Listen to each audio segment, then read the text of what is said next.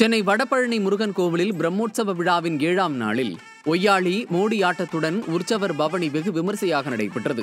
வள்ளி தெய்வானையுடன் சுப்பிரமணியர் கோவிலுக்கு பவனி வந்து பக்தர்களுக்கு அருள் பாலித்தார்.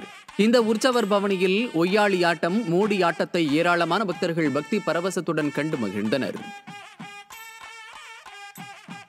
பிரசித்தி பெற்ற காஞ்சிபுரம் தேவராஜ பெருமாள் கோவிலில் வைகாசி பிரம்மோற்சவம் கொடியேற்றத்துடன் வெகு விமரிசையாக தொடங்கியது. கொடியேற்றத்தையொட்டி கோவில் குடிமரத்திற்கு சிறப்பு பூஜை செய்யப்பட்டது.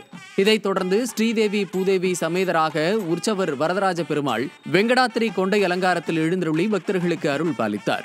வரும் இருபத்தி இரண்டாம் தேதி கருட வாகன சேவையும் இருபத்தி ஆறாம் தேதி மகாரதம் எனும் தேரோட்டமும் இருபத்தி எட்டாம் தேதி தீர்த்தவாரியும் இருபத்தி ஒன்பதாம் தேதி இரவு வெட்டிவேர் சப்பரத்தில் பெருமாள் எழுந்தருளுகிறார்.